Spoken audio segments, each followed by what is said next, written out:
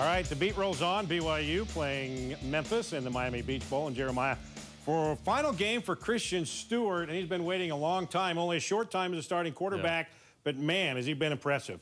He's exceeded expectations, and in my opinion, he, has been terrific, yeah. and his numbers are great, and he's had a great season so yep. far in filling in for Taysom Hill.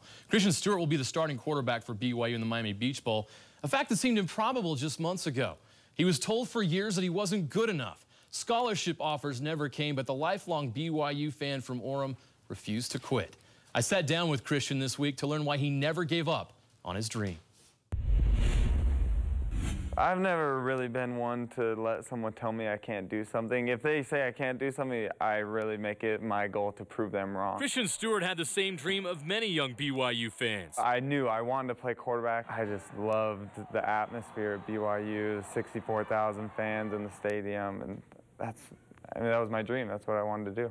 The Orem native passed for 5,264 yards and 54 touchdowns at Timpanogos High School. But the offers never came including his dream school, BYU. I knew that I was good enough, and so I wasn't scared of the competition. I knew it would be a long road, but I felt like if I paid my dues, that eventually the, the opportunities would present themselves. He walked on at BYU before serving an LDS mission. When he returned, there was still no scholarship available. So he went to Snow College, where he threw for 2,800 yards and 37 touchdowns, leading the Badgers to a bowl win. I finished second in the country in touchdowns, um, was the second rated quarterback, and no offers came. Not one Division One scholarship came. The coaches were down at, at, my best game at Snow. I had 450 yards, five TDs, and the BYU coaches were on the sideline and didn't say a word to me. I was bitter. That's the best way to describe it. And so for me, I was just going to do school. I was going to get an accounting degree and just worry about my future as far as my career went. He returned to BYU, but just as a student. That was until he ran into BYU strength coach Jay Omer. He cornered me after Sunday school. I still remember. Everyone had left, and he, he cornered me and told me, hey, we need you back on our team. We need three quarterbacks that can run this new offense. We only have two. I'm going into the coaching staff tomorrow and telling them we need you back on our team. He was back with the Cougars and served as a scout team quarterback as a junior. Before his senior year, he was offered an internship opportunity with an accounting firm in Los Angeles.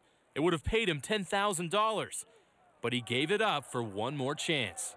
The chips have always been down for me. I've always been the underdog. I wasn't recruited out of high school, wasn't recruited out of snow, and it's just been fight, fight, fight for me. And I don't mind that. All I need is my brothers on the team. Finally on scholarship, he entered his senior year as the backup to Taysom Hill. Trying to stretch it out to the right side, gets to the edge, but not all the way around the corner. Uh-oh, yep. When Taysom went down against Utah State, the opportunity he'd been waiting for for so long was finally his. At that moment, I was so grateful for my preparation. I knew that I had gained the respect of my teammates, and I knew that I had prepared myself in a way that I could be successful. He's passed for 2,090 yards with 22 touchdowns and three interceptions in seven starts, leading the Cougars to four straight wins, including a come-from-behind victory over Cal. Christian Stewart over 400 yards. He didn't follow the conventional path to becoming the starting quarterback at BYU, but through his challenging journey, he's learned an important lesson he wants to share with others. There's nothing that you can't accomplish in life. It's just how bad do you want it? How hard are you willing to work, especially when the chips are down, when people are turning their backs against you, telling you you can't do it? Are you going to give up? I mean, there have been a lot of guys in front of me that have transferred and left, and it opened the door for me because I wasn't willing to give up. I was going to compete my hardest and hope for good things to happen, and that's usually what happens when you lay it all out there and you work your hardest.